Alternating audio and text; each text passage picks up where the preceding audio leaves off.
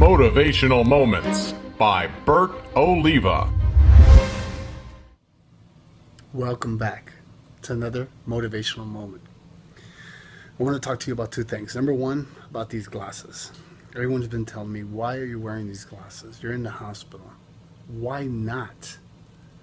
Does it really bother you that much? Does it bother you that I'm wearing these glasses, that I'm having a good time, even though that I'm sick? See, people tell you, well, if you're sick, you're supposed to act sick. Well, what's being sick like?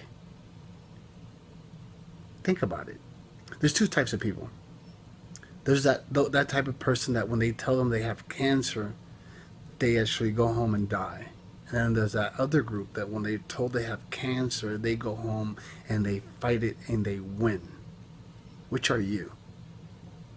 I'm the latter. I will fight and I will win this. Does not matter.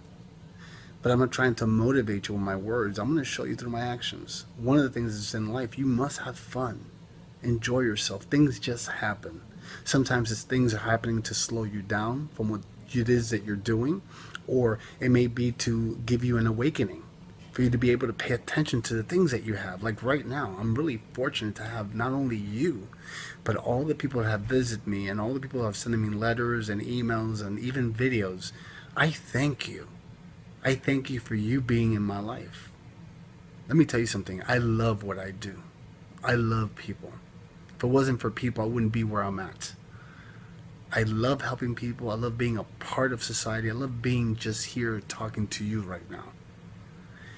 So forget about the glasses. I'm not taking them off until I'm out of this hospital. And I will be out of this hospital soon enough. I will make it happen. You will see. So remember, does not matter what people are going to say. They're always going to judge you. If I wear the glasses or if I take the glasses off, I'm going to be judged.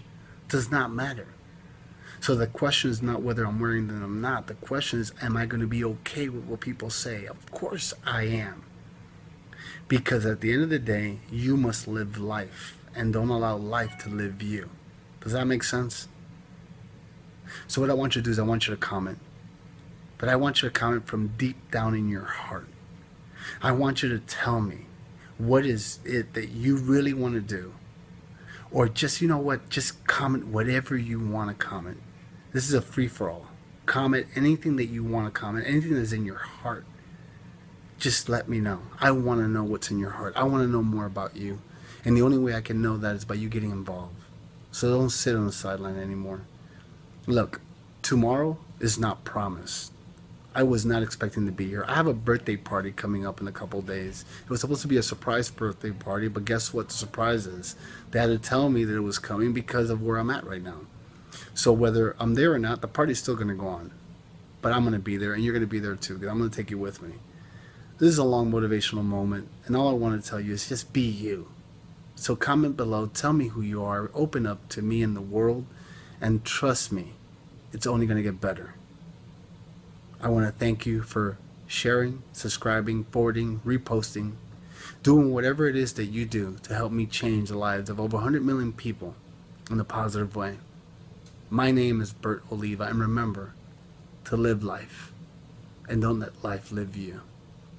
I will see you tomorrow. Have a great night. Stay up to date with all of Bert Oliva's motivational moments by liking his Facebook page. And be sure to follow him on Twitter.